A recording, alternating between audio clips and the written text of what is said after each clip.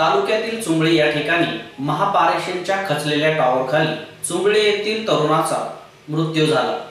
यावेळी तब्बल दहा तासांनी हा मृतदेह बाहेर काढण्यात प्रशासनाला यश आले. खारडा ते आष्टी अशी एकशे बत्तीस केव्हीच्या महापारेषण कंपनीच्या टॉवर लाईन उभे करण्याचे काम सुरू आहे.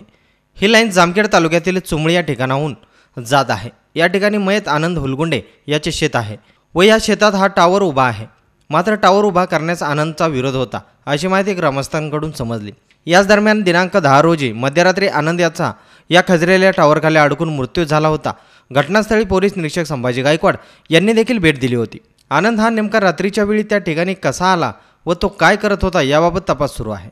टॉवर खचला असल्याने मृतदेह कसा काढायचा याबाबत मोठी तारेवरची कसरत होती. त्यामुळे एखादी मोठी दुर्घटना देखील होण्याची शक्यता नाकारता येत नव्हती. अखेर जीव धोक्यात घालून दुपारी साडेबारा वाजण्याच्या सुमारास महापारेषणचे अधिकारी कामगार जामखेड पोलीस स्टेशनचे पोलीस निरीक्षक संभाजी गायकवाड पोलीस नायक ज्ञानदेव भागवत पोलीस कॉन्स्टेबल सचिन सगर व चुमळी ग्रामस्थांच्या वतीने गॅस कटरच्या सहाय्याने मृतदेह तो अँगल कापून दरचा मृतदेह तब्बल दहा तासांनी बाहेर काढण्यात प्रशासनाला यश आलं आहे विश्वदर्शन न्यूज चुंबळी